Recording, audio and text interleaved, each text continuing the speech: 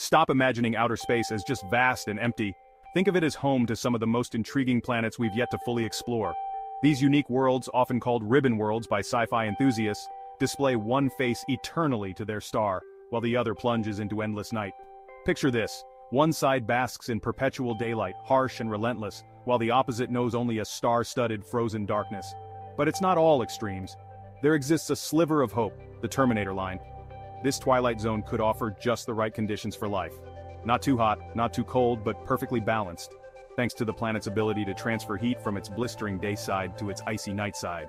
Scientists are buzzing about these planets because they might not just support life, they might host ecosystems unlike anything we've seen.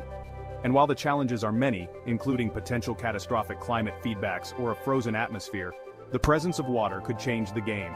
Water-rich planets could have currents that distribute heat across the globe, perhaps making these strange worlds more uniform in temperature and surprisingly habitable.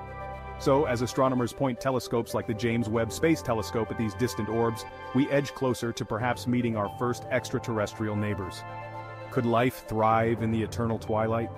The answer might just reshape our understanding of life in the cosmos.